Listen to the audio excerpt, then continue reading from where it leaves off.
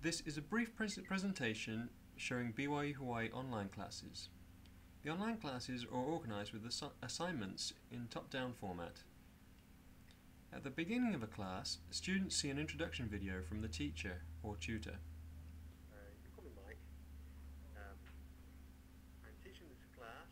My PhD is in instructional psychology and, and technology. Students then introduce themselves to the class with a video. Hi, uh, my name is Bruna. I'm Mongolian and I was born in here and raised in Mongolia. And students respond to each other's videos to build connections. Mm.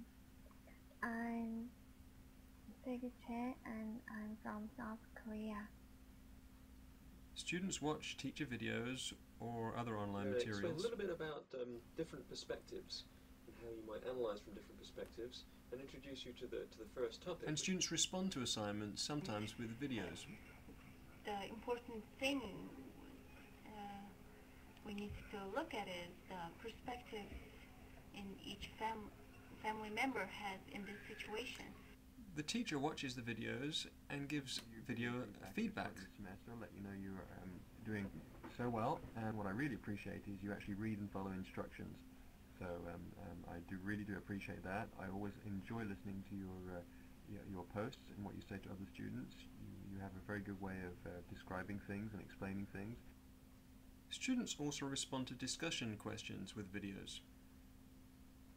Okay, the um, impact of society that was discussed was um, the psychological impact of not having medicine in society or not having medical advancement. And students have the opportunity to discuss and debate with each other th- with video responses. When you talked about the preventive measures of uh, medical advancement, uh, and only different conclusion I would have is on the medical care.